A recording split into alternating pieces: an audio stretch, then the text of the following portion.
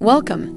In this instructional video, my esteemed colleague Jason and I will demonstrate the process of creating a scene featuring two or more avatars within a single environment.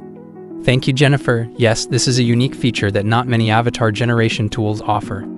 Jackie, drop the sword and let's start the Dan video before you hurt someone. Let me show you how to do it real quick.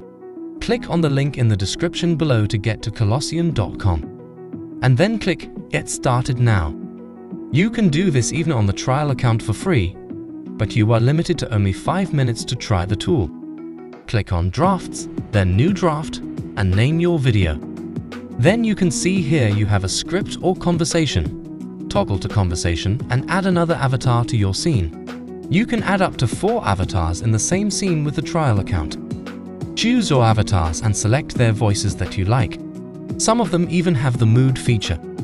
After that is done, you will see dialogue windows with pauses in between. Fill your script for each avatar and choose the pauses. I will choose 0.5 seconds. You can add music and other features like all the other video generation tools we have seen before. I'm going to choose a background fitting to the scene. After that, preview if you like. When you are satisfied, click on Generate. Go to your generated videos to find the final result.